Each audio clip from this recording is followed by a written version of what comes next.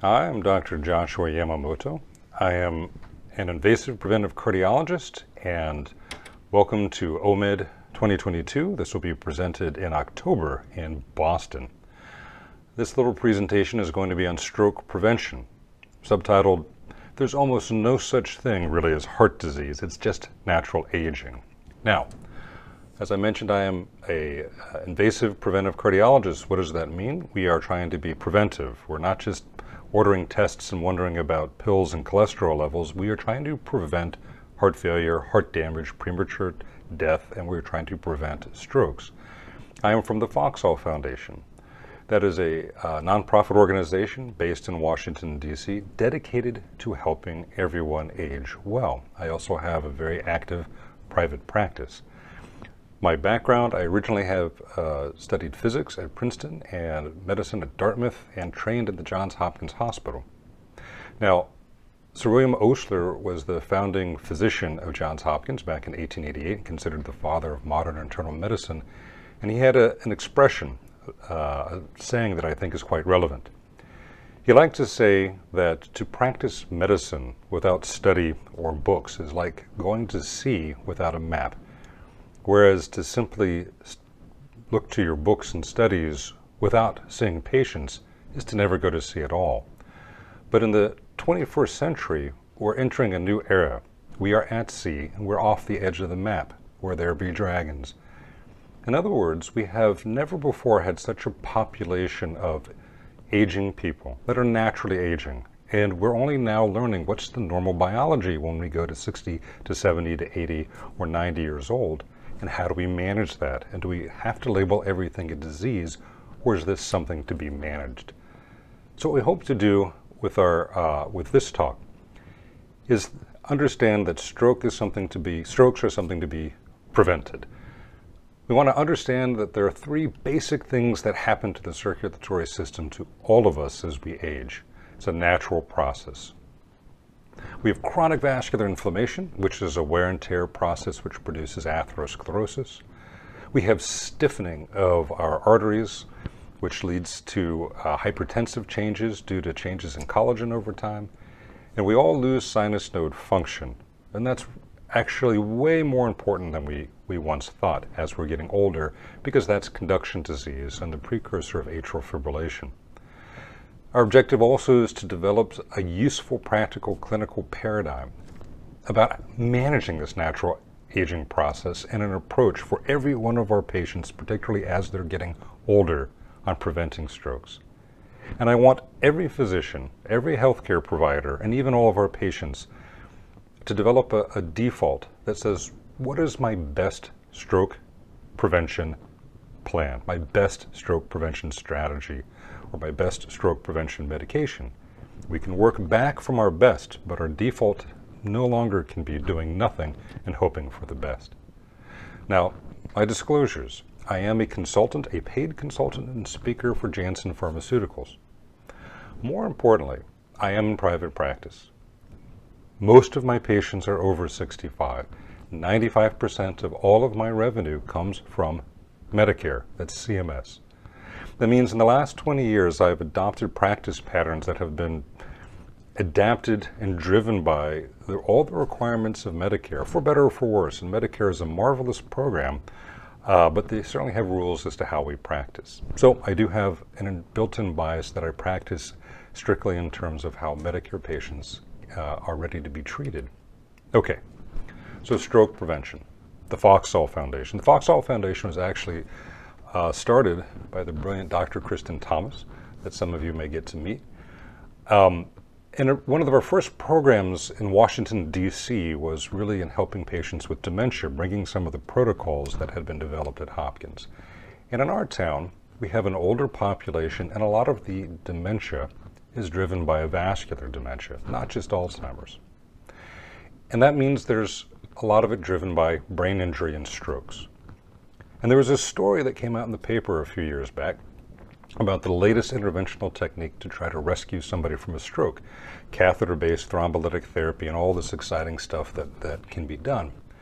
And a patient of mine, Bill Lilly, came to me after the story and he said, hey, Josh, this is really exciting. What's the best way to treat a stroke? And I looked at him and I said, Bill, you're, you're just asking the wrong question. The best way to treat a stroke is to prevent it. And he was really kind of stunned because it didn't occur to him. And he, he looked incredulous and said, You can prevent a stroke? I said, Yes, Bill, you can. You can prevent a stroke.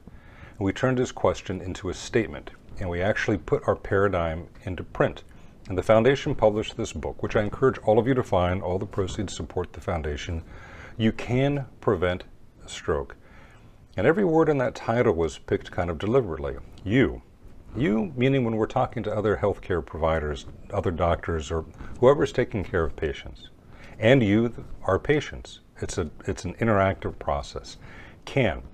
It is possible and it is also imperative. The burden is on us to prevent strokes prevent a stroke. Not every stroke. CDC estimates that 80% of strokes can be prevented, and that's even using kind of old fashioned paradigms. We really need to be thinking about how do we prevent strokes. One of the sayings at the foundation is that good health, health doesn't just happen, you have to build it as you age. It's an interactive process. We are going to age, and we need to, we as people aging and as the providers for our patients, as their doctors, help people build their health as they go. The first shocker I like to give a lot of my patients is you know, prevention isn't just about diet and exercise. Uh, we get beaten up about diet and exercise all the time. So I'm not going to tell you that diet and exercise has no role, but we, we already kind of know what we can do. And I always say, think of the rabbit. They run around a lot and they eat uh, what is considered a marvelous diet, but you know something? They don't live forever. But of course, we're not rabbits. We have our own genetics. The shocker is that so much of what happens in the natural aging process really has very little to do with, with diet. In particular, exercise is always beneficial. Diet matters about uh, metabolism and the tendency to be diabetic, which is really a genetic metabolic mismatching. We consume things we can't metabolize, fine. But that's still genetics. And none of us are exempt or immune from time. There are things we can control and things we can't control, but ultimately aging is an inevitable process. None of us are immune from the effects of time, and none of us are uh, exempt from our genetics, nor can we change the genetics, but we can think about how we manage our passage through time. So that really means that age itself is inevitable, but it's a well understood process. The map makers have been looking at this aging for a long time, so now the sailors out there going out to sea past where our experience lies needs to really appreciate that as a well understood process, aging is now predictable, it's measurable, and it's manageable. And it's a process. Aging is not just a collection of diseases, it's a natural process. And if we don't manage our aging well, you're going to have the cardiovascular, the heart and circulatory changes that are going to lead to, well, heart attacks and strokes. But we don't have to. We're actually very good at preventing these things. But again, it is an active and interactive process. So preventing a stroke. Let's be clear, what is a stroke? A lot of my patients don't even really understand that because, well, maybe our health curriculum in high school should be better. But what is a stroke? It is a cerebrovascular accident. Vascular accident. It is a circulatory issue.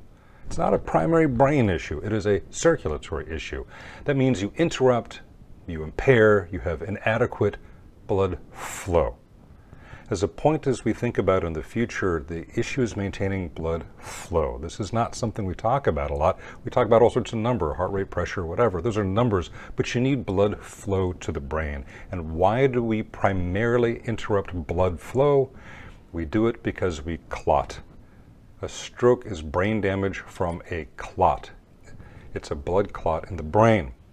And even the bleeding strokes, which are the minority, the vast majority of bleeding strokes occur uh, because of hemorrhagic conversion of a prior ischemic stroke. So you need, meaning a clot. You had the ischemic stroke first. That's what you need to prevent. That is what we're trying to prevent. We die from clotting. Go ahead, look up the leading causes of death. You're going to find that they're basically related to clotting, heart attacks, even half of cancer deaths, the mode of death is from clotting, strokes, dementia, throw in lung disease, it's not necessarily clotting. The point is we don't see hemorrhage as a cause of death, but we do see clotting as the major driver of brain damage and disability. Okay, so where do the clots come from? From our circulation, from the arteries, the carotid arteries in our neck, from inside the heart itself, or the clots are forming in arteries primarily in the brain. The clots form somewhere, they get somewhere, it's a clot to the brain. So if we know a stroke is a clot to the brain, already our paradigm can start to evolve. Oh, well, where do they come from? And why are we forming clots? Because we're supposed to form clots. We are genetically predisposed to form clots. That's natural. Our, our cave dwelling ancestors did not die of clotting. They died of what? Bleeding, wounds, malnutrition. Because we have genetically selected out over 100,000 years to what? Clot well, heal well, and store calories well. But it gives us an approach to understand this. Okay, so then as we get older, remember, Darwin actually doesn't care too much about us after we pass childbearing age, so the things that are advantageous in our youth can start to work against us when we're older. We have chronic vascular inflammation. We have a loss of vascular compliance, which means a stiffening of the arteries and we have a decreased reliability of our natural pacemaker, the electrical driver of our heartbeats. What does that mean? Chronic vascular inflammation is wear and tear on the arteries, which leads to atherosclerotic disease. That is a process which we'll talk about. Atherosclerosis. We have loss of elastance of collagen, or our arteries get stiffer. That leads to stiffer pipes. Stiffer pipes will drive hypertension. So as another process of aging is hypertensive disease. And we lose the reliability of the natural pacemaker, which leads to sinus bradycardia, which is way more important in an older population than we once thought. And that's very often the, the prodrome of the atrial fibrillation, which is so common as we get older. And so right away we look at things, atherosclerosis, atherosclerotic process, hypertension, a hypertensive process, conduction disease, a process. Not diseases, but part of how we age. So let's think of each of these separately. Number one, what happens as we get older? Chronic vascular inflammation, the wear and tear on our arteries. All right, why does this happen? Remember, I, I, mentioned I was a physics major. I'm a very mechanical person. And as uh, my personal childhood hero, Jim Kirk, here is demonstrating, we have 100,000 heartbeats a day. Imagine that impact all day long. Lub dub, lub dub, this pounding pressure wave down our arteries. What's going to happen to Jim Kirk's face by the end of the day? He's going to tear off his skin. He's going to have trauma to the impact. That continuous, continuous pounding creates trauma. All of our arteries have endovascular trauma relentlessly all day long. It's a natural part of life. And trauma, disruption of endothelium, promotes the healing process. And so we have chronic vascular healing. That's inflammation. The inflammatory process is a healing process, and we are genetically selected to robustly heal. And so forming plaque in arteries is a part of the natural healing process. Atherosclerosis is not a disease, it is a part of natural aging. And that's great because it makes it something that's well understandable. We predict that it's coming because it always happens. It's just a question of when and how fast, and what do we do about it? But you can't beat up an artery without it changing. And we go through a process of advancing plaque burden or plaque growth in arteries. And so this is a this is a pipe. This this pipe here has nothing to do with the human body, but I think it's a great example of why we care about this relentless pounding an inflammatory process on our arteries. This pipe is not blocked. It could allow flow, but do you want to drink out of this pipe? The thing is, we used to be focused. In the, in the 1900s, our focus was on blockage. How blocked is something? But you know what? Blockage does not predict events. You don't have to be blocked to have a problem. What really matters more is the plaque burden. Blockage, like in a coronary artery, may give us angina, but the blockage does not predict the infarct, which is plaque rupture and clot forming in that artery. Plaque burden does. Having a long rusty pipe with a lot of gunk in it that likes to clot up, and if that pipe is in your neck or in your between your neck and your brain, that gunk and little clots on that rough edge is what can get into the brain. The more plaque you have, the worse. If you have a blockage, you're more likely to have a higher plaque burden, but it is not the obstruction that predicts who's going to have a heart attack or uh, brain damage, a stroke. So it's important that we start thinking in terms of plaque burden, not blockage. And that's, that's important because it's practical, because we can stop plaque progression. That is the better way of thinking about atherosclerosis as a process and stop labeling it as a disease. Okay, there are a lot of ways to evaluate for the presence of plaque. One of the most practical, pragmatic, and useful tests that you can do, especially in uh, somebody who's older, meaning 65, is a carotid ultrasound. Now, to be clear, we are not screening. It is not screening. We are quantifying disease burden. If you believe that there's a possibility of atherosclerosis, you can say, well, who at 65 doesn't have atherosclerosis? Right, that's the point. How much do they have, and are we adequately stopping it? And what is our stroke prevention strategy? So an ultrasound is a quick, easy thing to do. It is absolutely painless. All you need to have is a quality technologist this is Denise. She's marvelous. She works in my office. And we can look at your arteries. It only takes really a minute or two. But remember, we're looking for plaque burden and plaque progression. We're not looking for blockage. I mean, of course, you're going to see blockage if you have it. So what does this look like? This is a, a carotid artery, okay? It's a pipe. It's just a pipe. So the blood is flowing through this pipe here. We, we can take moving pictures, although there's not too, too much movement typically in a pipe. This is a normal carotid artery, nice clear pipe.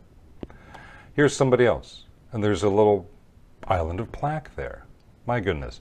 It's the bright white is the calcification of the plaque, and this black here is an ultrasound shadow. So as plaques mature, as they go through time, they actually calcify, which is a mixed blessing.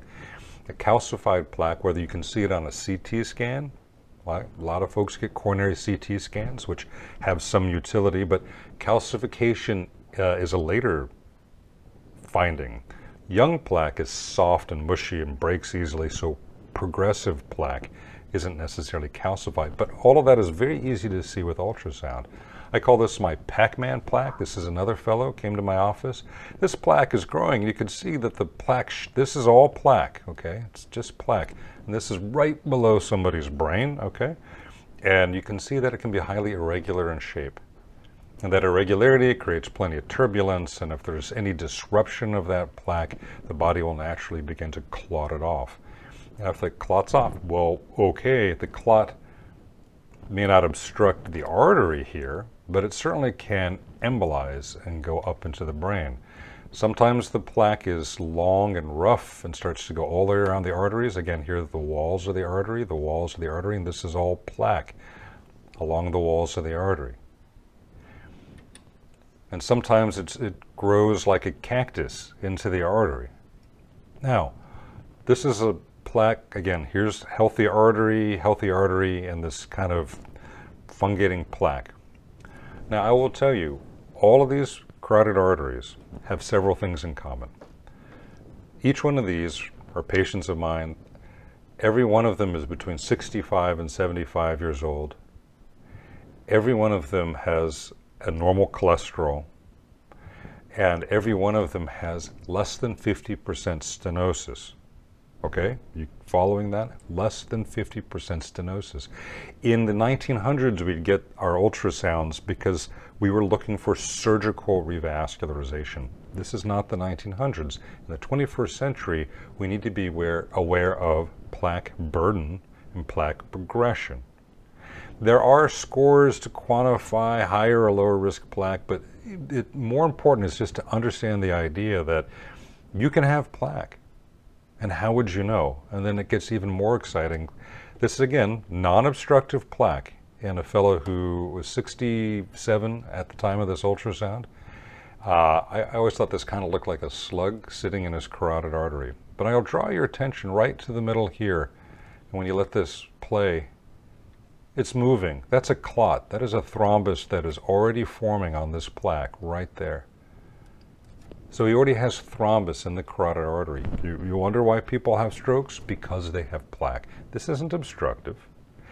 In, again, old school, 19, uh, 1900s, the, if you ordered one of these studies, it could come back from a hospital lab and it would say 0 to 49% stenosis normal it's normal with flow. You're not going to have symptoms and you're not going to obstruct flow and you're not going to need a surgeon.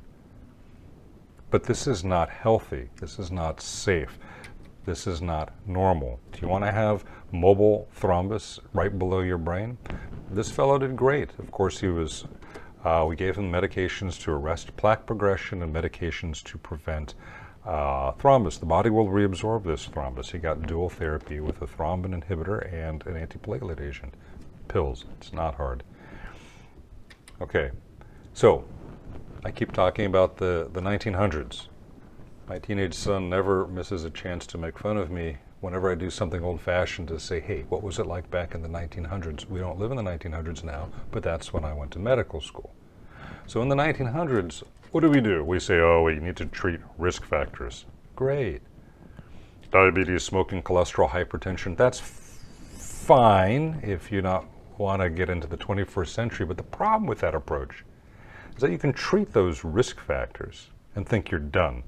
But over 40% of people with good numbers, meaning we did that, we treated the risk factors, but they still have progression of plaque because treating the risk factors is not sufficient.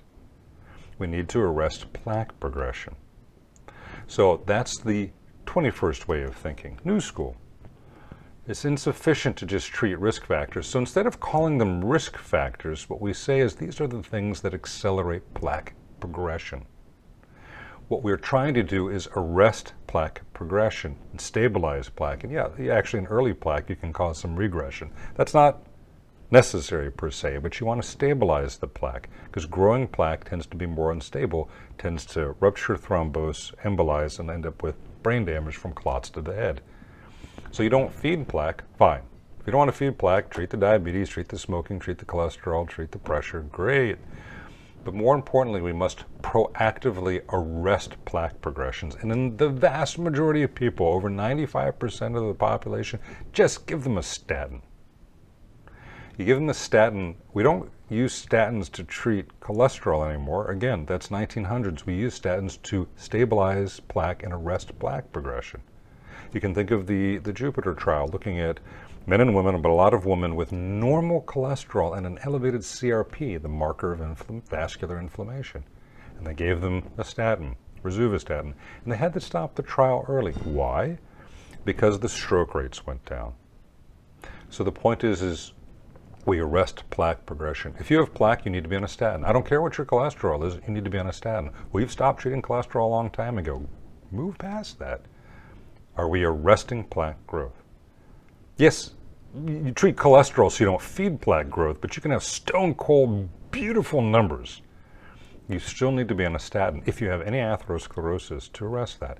Now, for the folks who can't take statins, that's a whole discussion that uh, you can consider yourself uh, of the people who are resistant to statins. Fine, they're out there.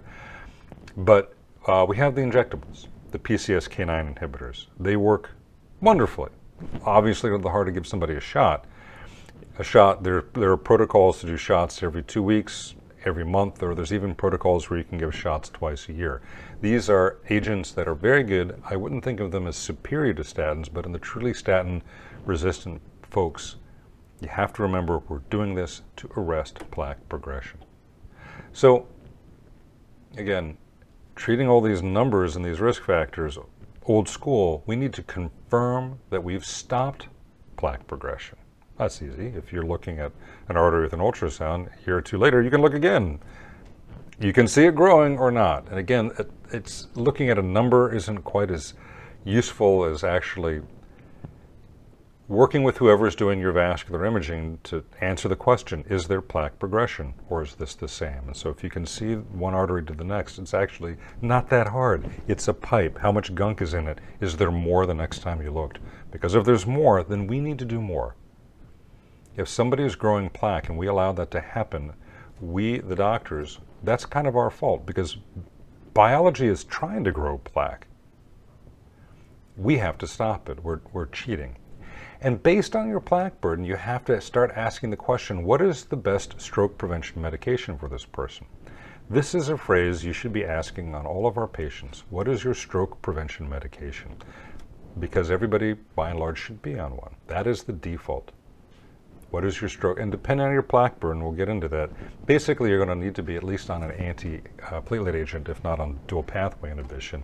See, risk factors, I don't like the term risk factors because that implies that this is somehow a game of chance. There's no chance involved. This is methodical. We will all, go ahead, show me a 100-year-old who doesn't have atherosclerotic changes. It's not going to happen because it's a natural part of the aging process. It's time. It's not a matter of chance. It's a question of time. So it's our job to know the plaque burden, not to feed it, to arrest it, and to make sure you're on appropriate stroke prevention and to confirm that we're doing everything we need to do. So the second shocker I give a lot of my patients is being on a pill doesn't make you unhealthy. I love it when I have folks 50, 60 years old, oh, I'm healthy, I don't take any pills. Really? If you walk into my office at 65 and tell me you've been on a statin for 15 years, you're going to have much healthier arteries than a guy who waltzes in and says, oh, I just eat right and exercise all the time. Look at me. I look good on the outside, but you have no idea what you look like on the inside. Yeah, my dad had a stroke at my age, but by golly, I, I run. I'm great. You're fit. You're not going to have heart failure, but you're not immune from your genetics and time. So it's like doing car maintenance, okay? We take our cars in for maintenance because over time, gunk builds up, things wear out, but we can do that to prevent that from being a happen. I'm sorry, growing plaque is an entirely preventable thing. Not avoidable, preventable. Prevent is an active verb. And you slow down that aging process to some degree with lifestyle, great, but that's feeding the plaque. But when we want to stop aging, we need to use a pill, and we're the ones to prescribe it. And it's really not that hard. It's just a statin for crying out loud. If you have any patient old enough not on a statin, you really have to know that their arteries are pristinely healthy before you can feel comfortable saying that you shouldn't be on statin therapy or on a stroke prevention medication. Okay, so that's just one. What else happens with time? Loss of vascular compliance, stiff, stiff pipes there's just an enormous misunderstanding of blood pressure because all of these blood pressure guidelines were largely based on 40 year old men. Well, what if you're 80? What if you're 90? What if you're a 60 year old woman or a 70 year old woman? They're different. Blood pressure is a number, it's not a disease. They will, arteries will all stiffen over time because of the change in collagen. I was a physics major, not a molecular biology major, but I'm told that as we age, collagen is an incomplete protein and changes and we lose a lot of the elastins, so our pipes get stiffer. And so stiffer pipes mean higher pressure. Higher pressure means that our heart is going to work harder. It's really about our cardiac workload. Remember, blood pressure is a number. The issue is what's the health of the heart and the health of the arteries? What's the workload on the heart and how effective is blood flow? So we're trying to get away from being just number focused people. Okay, well, what's the health of your heart? How would you know? You, you, you need to, you're going to need to look at it because the heart is a muscle. Okay, it's a special muscle, but comparing it to skeletal muscle, if we exercise it, that's a great thing. We want to go the distance. We want to be fit. We want to have a heart that exercises well. But if you overload the weight, you're going to overload your muscles, okay? And meaning if you have undertreated high blood pressure over the years, you're going to end up overworking your heart muscle. And the skeletal muscle analogy is going from somebody who's perhaps lean and fit. Our heart wants us to be marathoners, not power lifters. So this is the, the visual paradigm to say what what does hypertension mean to a heart? It means you're overworking it, and it means it's thicker, stiffer, and, and bulkier. Your heart doesn't want to, you want to look like that, more power to you, great. But your heart doesn't want you to look like that. This process is different in men and women, and that's useful to keep in mind. In men, our arteries tend to start stiffening in a very linear fashion, quite progressively, typically in about the age of 40, and it's inevitable. Now, not everybody has to have a label of having high blood pressure, but we need to understand that everybody's arteries will change. In women, it is much more variable and usually much later. Women tend to have a much more flexible circulation. Women go through their menstrual years, and a pregnant woman has to significantly increase blood volume. They're really in an estrogen driven flexibility, and that's terrific. But a decade or so, usually 10 to 15 or 15 plus years post menopause, there can be a rapid catch up and a stiffening of the arteries. Not a disease, normal physiology.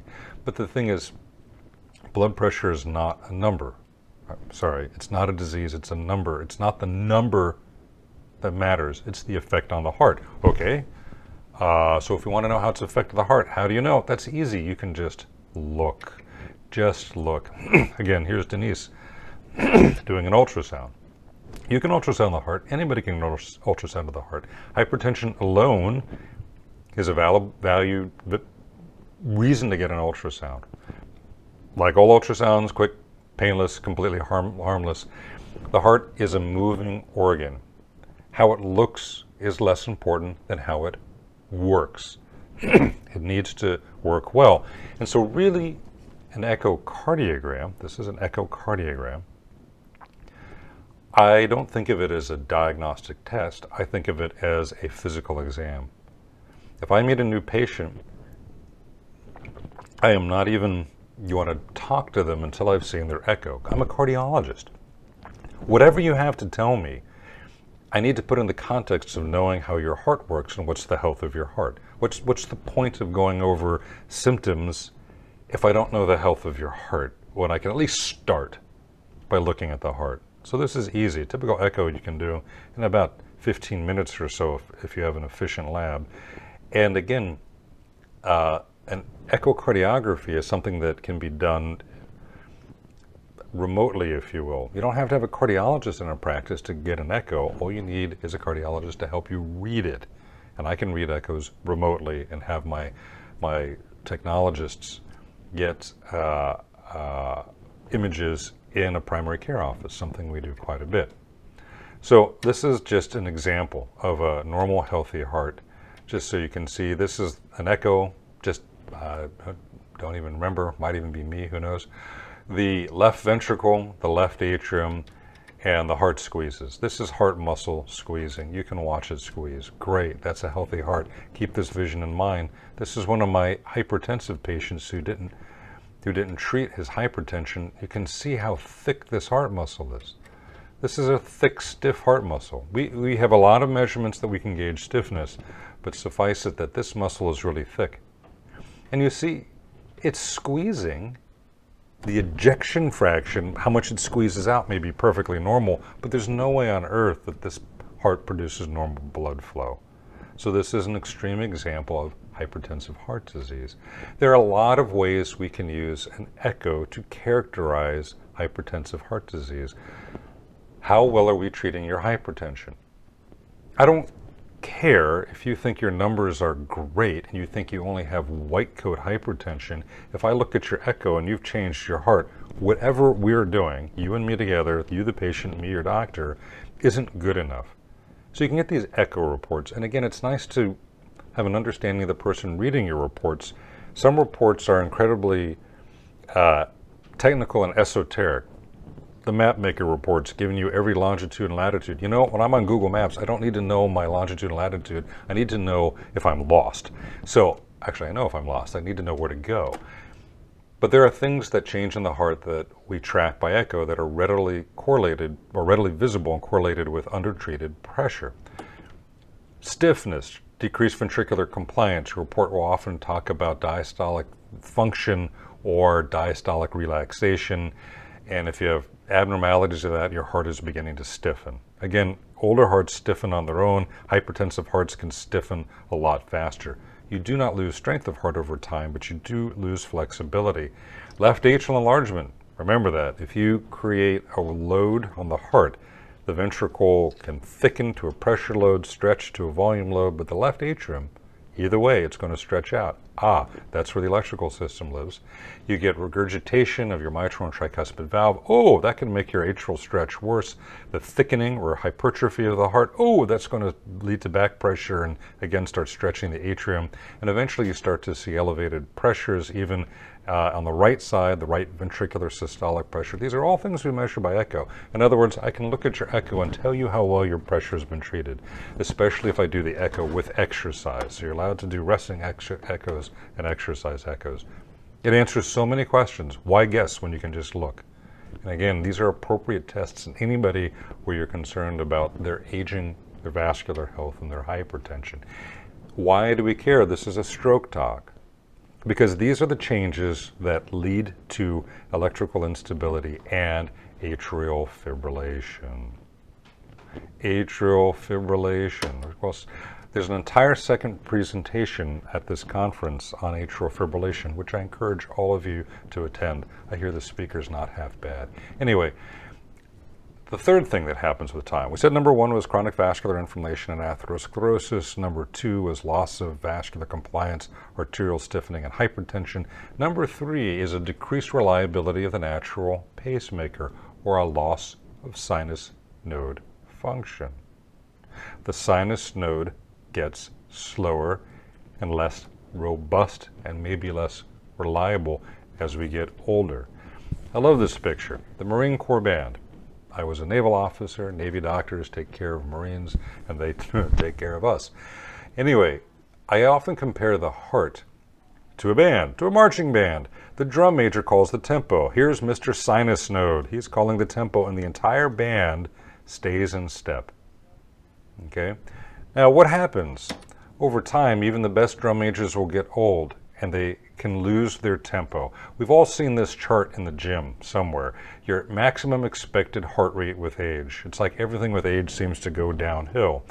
And people look at this and say, oh, if I'm 80, I'm not going to run as fast as when I'm 18. You know what? That is not what this chart tells us. This chart is saying when I'm 80, my ability to generate a sinus beat is nowhere near what it was when I was 18. Our ability to accelerate. Essentially, older hearts, like older drum majors, start to slow down. That is a natural aging process which we have no way of stopping. And this is interesting. Our athletes are often conditioned and go into their older years with a slower heart to begin with, which may be uh, great for bragging purposes, but having a heart rate of 40 isn't always that helpful when we get older. Actually, it's really bad when we get older. Love to say if you have a heart rate of zero, you're dead. If you have a heart rate of 20, you're almost dead. If you have a heart rate of 40, you're either an Olympic athlete or you've got a problem because you're not going to have enough blood flow. And what happens if the drum major really kicks out? Oh, this is my second favorite band, my alma mater, if anybody recognizes it. And the drum major really has no control over the band, and everybody is running a little chaotically on the field. That's how I help my patients visualize atrial fibrillation. Nobody said there's anything wrong with the band. No one said there's anything wrong with your heart. When I have patients with atrial fibrillation, I don't tell them they have heart disease. I tell them they have sustained irregularity. The drum major is having trouble keeping everybody in step. This matters. This matters a lot. And I like to tell folks that atrial fibrillation, again, go see the next talk, uh, is more of a description than a disease. Why does this matter? Because if I took a whole bunch of 70 year olds with the history of hypertension, okay, uh, and I did long term monitoring, I'd find that more than a third of them, 35% in a recent study, have at least some atrial fibrillation. A third of 70 year olds with hypertension, and we all know that hypertension is a natural process, so most 70 year olds actually have some degree of hypertension.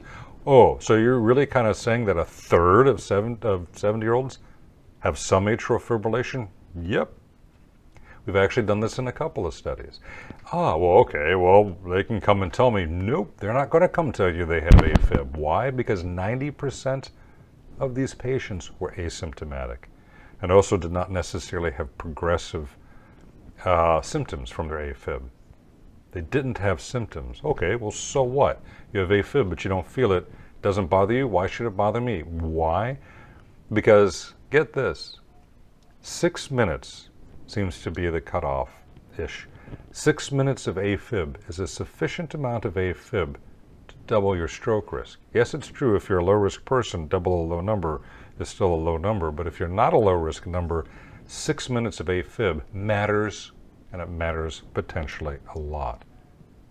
These should be really wake up facts, data points.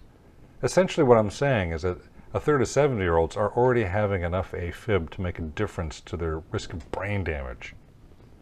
And my patients, they have a lot of different motivations, but they all really prioritize not having brain injury, not having a stroke, not having the disability. Symptoms our third shocker, do not predict risk. The risk of having brain damage from a stroke has no correlation whatsoever with whether or not you're symptomatic from your AFib. It is a completely separate issue. It's related to having irregularity in the left atrium, which creates stasis and clots start to form in the left atrial appendage. There are other compounding reasons, but the point being if you sit around waiting for somebody to tell you they have symptomatic AFib, we may be missing an opportunity. And you wonder why people show up having strokes. Why? Because they didn't feel their plaque grow and they didn't feel their AFib. But these are the things that give us the potential for clot formation, stroke, and brain damage. So you have to find the AFib. You have to monitor it. There are a lot monitor for it you need a cardiac monitor. There's a lot of types of cardiac monitors. I love this picture. I like to point out one of these four pictures I posed for. I won't tell you which one. Anyway, there are wear, there's wearable tech. Uh, different companies make different versions. They're all good. On average, most people, one study, couldn't wear the monitor more than 11 days without skin irritation. In my practice, I ask people to wear it for a week because any more becomes kind of impractical. There are monitors that can turn your cell phone into uh, EKG. That's great. The, there are wearable monitors that can pick up um, EKGs. And the best monitor, uh, there's a couple brands of implantable monitors you can put under your skin. The point is, one, watch the AFib talk. Two, uh, you need to look for it because we can't afford to wait for symptoms.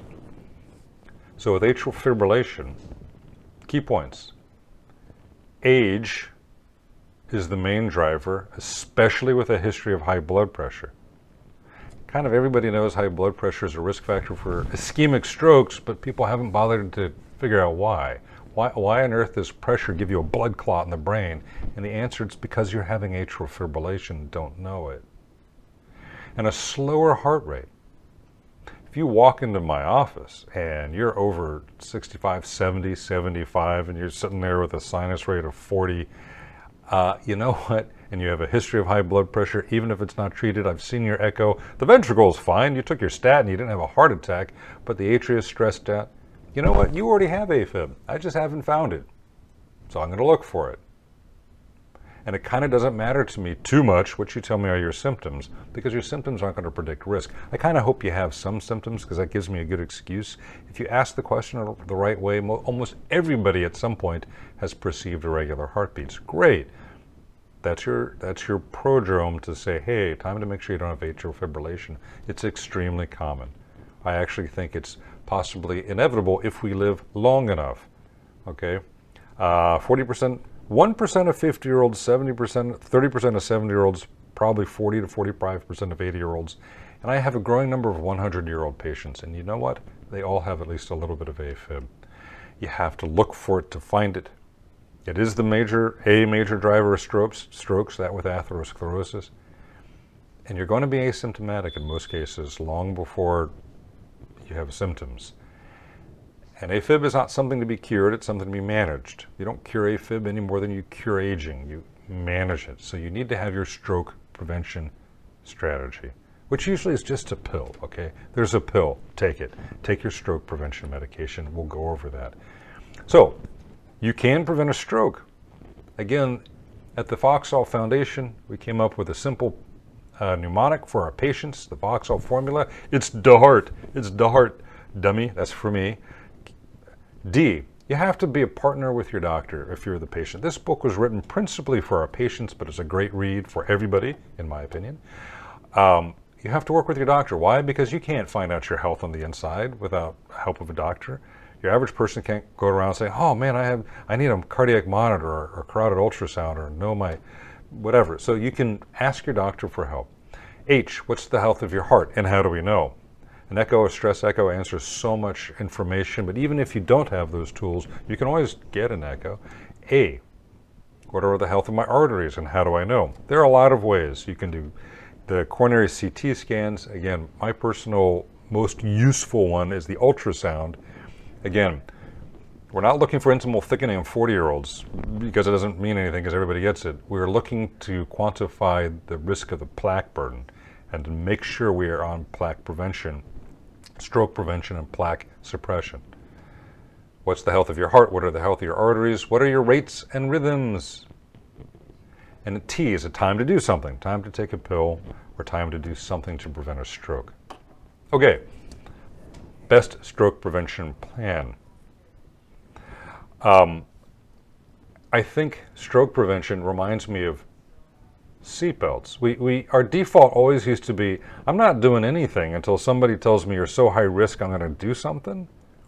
This is why scoring systems and risk systems and things like the CHADS-VASc scores, I find almost distracting because that has a presumption that we're going to do nothing until you have so much risk I'm going to do something. You know what? Why don't we start with the seatbelt paradigm? I don't care if you're in the parking lot. If you have your seatbelt on, I've given you protection from an accident. Wear your seatbelt all the time. Be protected all the time. Well, what, what is our stroke prevention plan? So if you ask every single patient, what's your stroke prevention medication? We have, we have to start answering that. And so for early on, if you have simply suspected atherosclerotic disease, the proverbial risk factors, again, not risk factors, things that accelerate natural aging. Or if you've imaged them and you know, like, oh, I had an x-ray and it noted coronary calcification. Okay, well, congratulations, you're growing plaque that means you need to be on antiplatelet therapy. At least that's the starting point. Aspirin. Okay? Yes, aspirin causes some bleeding, but I think it's incredibly uh, disingenuous and a disservice to our patients to assume that they're just as afraid of nosebleeds as they're afraid of permanent brain injury. Have this discussion with your patients. What are you afraid of most? Aspirin, stroke prevention medication. Aspirin intolerant folks uh, or allergic folks could take clopidogrel, fine, probably a little more bruising and bleeding, but it's an excellent stroke prevention medication. It's an antiplatelet agent. Well, what if I have a lot of plaque? Oh, I've already had stents, I had a heart attack, I had a prior ischemic stroke, I had a more than 50% plaque buildup in my carotid arteries, I had an, a femoral arterial bypass. For people with a high plaque burden, you need to do dual pathway inhibition. I would be remiss if I didn't point out the COMPASS trial, which took people with high plaque burdens and randomized them to a single antiplatelet therapy or dual pathway inhibition with an antithrombin inhibitor, specifically very low dose rivaroxaban. That trial too, like the Jupiter trial, had to be stopped early because of overwhelming efficacy, a 44% reduction in what? Strokes. So people with a lot of plaque need to be on dual pathway inhibition. Typically aspirin 81, rivaroxaban, 2.5 milligrams twice a day high plaque, high risk patients. All right, what if you have atrial fibrillation? You need to be on a stroke prevention pill, an oral anticoagulant, a direct oral anticoagulant. There are two excellent choices on the market, apixaban and rivaroxaban. There are, there's also uh, uh, edoxaban and there's a few others that are just not commonly used because of they tend to be intol they have difficulty with, with tolerability uh, or excess renal clearance. Notice I did not put rat poison on this list. If you're using rat poison to prevent strokes and atrial fibrillation, you are on the verge of malpractice. So I'd encourage you to figure out how to use the, the 21st century stroke prevention medications. They are excellent. They prevent strokes. They are safer than rat poison. They are more effective than rat poison, and they're easier by far than rat poison. So I don't even want to go there. Now, uh, there are a lot of combinations, okay? What if you have atrial fibrillation and you have atherosclerotic disease? Typically in those folks, uh, monotherapy with the oral anticoagulant takes precedence or combination therapy in high-risk patients. So that this is where working with a cardiovascular doctor or uh, somebody who's familiar with all of these dosing schemes can be helpful. In the Pioneer study, people with new stent or with coronary stents and atrial fibrillation had the best outcomes with rivaroxaban 15, clopidogrel 75. Again, there are many combinations as the risk starts, as the disease burdens rise, if you have atrial fibrillation and a lot of plaque. Okay, so our final messages. Guess what? We all age, known as immune. We can't change our genetics and we can't change the fact that time will pass.